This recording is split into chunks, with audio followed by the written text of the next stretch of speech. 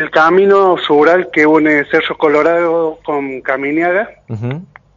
Por motivos que se tratan de establecer, se dio vuelta un vehículo del porte que recién usted nombra. Eh, iban 10 personas a bordo. Fue el, el, día sábado, horas 12 aproximadamente. Es un camino angosto en el cual transitaba y había un precipicio.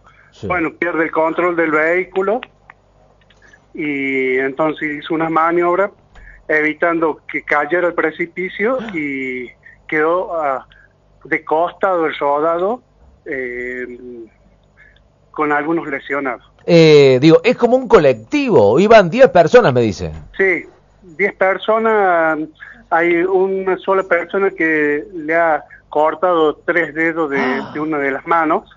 Eh, la falange, no, no totalmente, sino parcialmente, el, herido que teníamos más grave. Claro, claro, claro. ¿Y cómo hicieron para rescatar a esta gente? Eh, digo, de, eh, si uno eh, mira o, trata de, de, hacerse el mapa mental de los centros más urbanos más cercanos, ¿quedan lejos para asistirlos allí o no? Sí, bueno, eh, tuve una colaboración de personal de, de Caminiaga, personal policial y del Cerro Colorado, donde fue el superior de turno de la departamental.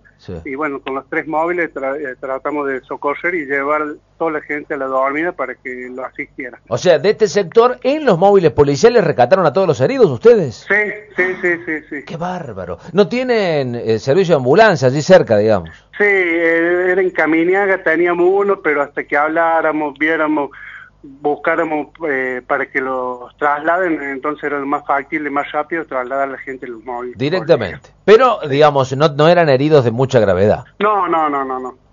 Con, algunos traumatismos, hematomas y bueno, y alguna gente que estaba alterada por la situación esta eh, comisario, inspector, y digo, ¿no sabe qué le pasó al, al motorhome? ¿Por qué se dio vuelta?